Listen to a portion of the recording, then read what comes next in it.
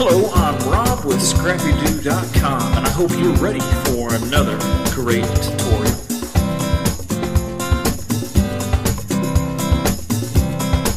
Alright, I hope you're ready for another exciting tutorial with ScrappyDew. So let's go ahead and get started. What we're doing in this tutorial, we're going to be creating text around an arch. In order to do that, we first need an arch. So let's go ahead and build the arch. It's really simple.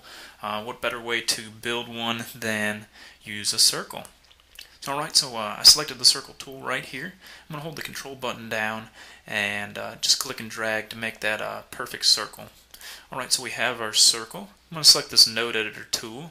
I'm going to go to path, object to path, and you can see it that uh, four nodes popped up.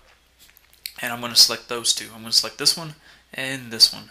So I'm just going to just drag a little box around those two, make sure that they're highlighted, and I'm going to go ahead and click this button right here that breaks that path apart uh, at those nodes. And I can go to path, break apart to see what I did. And as you can see, I have two halves. So I'm going to delete that bottom half because I no longer need it because I'm just doing an arch. And an arch is a half a circle. So alright, uh, what we need next is text. So let me go ahead and type that out real quick. Alright, so there's my text. And um, what I'm going to need to do next is I'm going to need to convert this text to a path in order to get this thing to work. So I'm going to go to Path, Object to Path, and then I'm going to make sure that this text is on the, uh, the top portion of this layer. So I'm just going to go to Object, uh, Raise to Top, just to make sure, just to double check. So alright, uh, I'm going to hold down the Shift button, making sure that uh, the text is selected as well as the arch and I'm going to go to extensions, generate from path, and I'm going to go to pattern along a path. Um, now here's some settings that you'll need to have. Uh, as you can see this drop down menu box, I'm just going to have single stretched.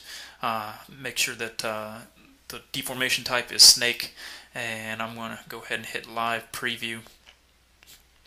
And as you can see that uh, even though the the uh, circle was small, the text uh, you know, compensated and squished right in there.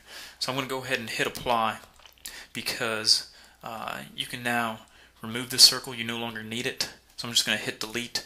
And as far as the arch goes, you can uh, you can increase this. I'm holding the control button down, you know, to to grow it. Uh, you, you know, you can grow it long ways as well. It just depends on you. So uh, I thought that this would probably be a good tutorial showing you how to create arching text. So with that, I'm Rob with ScrappyDew.com. I hope you subscribe. I hope you check out our tutorials, and I'll see you.